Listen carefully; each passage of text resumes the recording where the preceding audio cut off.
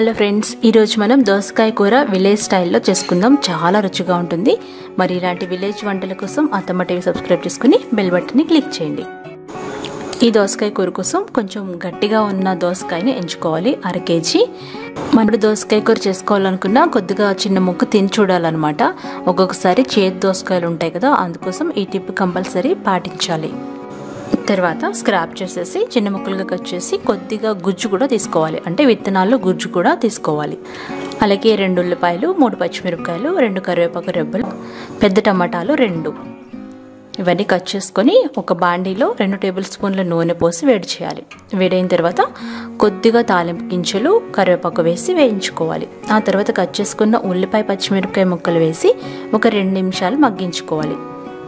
కొద్దిగా ఉప్పు వేస్తే తొందరగా మగ్గిపోతుంది. ఈ ఉల్లిపాయలు మగ్గిన తర్వాత మనం కట్ చేసుకున్న దోసకాయ ముక్కలు మనం తీసుకున్న గుజ్జు విత్తనాలతో సహా వేసేయాలి. మూత పెట్టేసి మీడియం ఫ్లేమ్లో పెట్టి ఒక మూడు నిమిషాలు మగ్గించుకోవాలి. మధ్యలో కలుపుతూ ఉండాలి. దోసకాయ ముక్కలు మగ్గిన తర్వాత కట్ చేసుకున్న టమాటా ముక్కలు వేసుకొని మూత పెట్టి వాటిని కూడా ఒక రెండు మూడు నిమిషాలు మగ్గించుకోవాలి.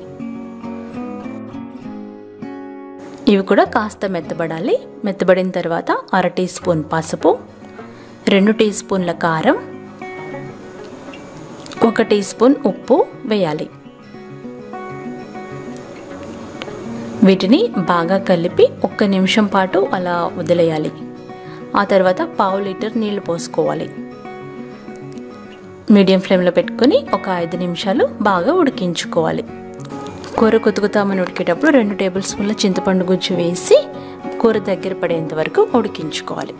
ఆఖరిగా కొత్తిమీర చల్లుకొని సర్వ్ చేసుకోవాలి. ఎంతో రుచికరమైన ఈ కూర వేడివేడి అన్నంలోకి భలే బాగుంటుంది. గ్రేవీ కావాలనుకుంటే ఎక్కువ తక్కువ నీళ్ళు పోసుకోవచ్చు. ఈ కూర మీరు ట్రై చేసి ఫీడ్బ్యాక్ పంపించండి. నచ్చినట్లయితే లైక్ చేయండి షేర్ చేయండి కామెంట్ చేయండి.